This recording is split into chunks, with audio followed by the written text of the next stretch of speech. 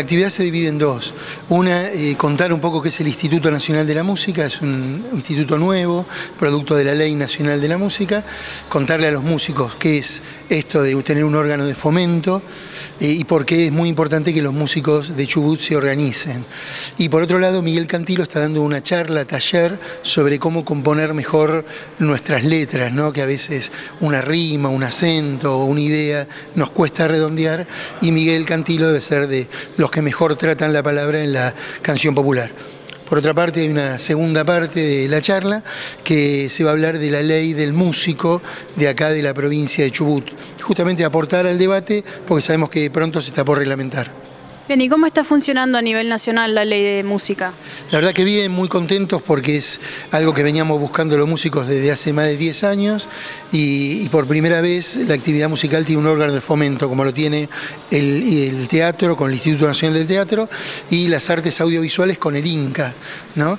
Eh, la música parecía que siempre estaba como asociado al espectáculo, al divertimento o a veces hasta como un adorno y hoy hay un, órgano de fomento que lo pone en el lugar que tiene que ser, o sea, es un arte.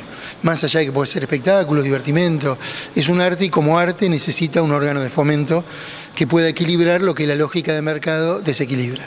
¿Cuáles son los principales puntos que plantea esta ley para quienes no lo sepan?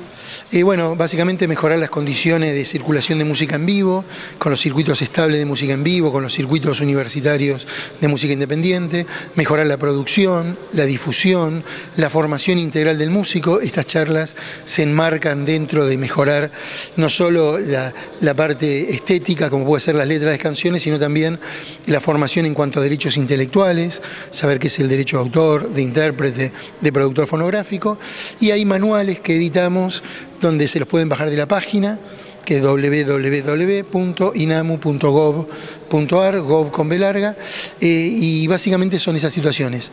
Música en vivo, producción, difusión, distribución y formación integral del músico. ¿Es muy difícil de implementar la ley en el país? No, para nosotros es parte de un proceso natural. Lo que es difícil es construir derechos y que los propios beneficiados sean en este caso protagonistas.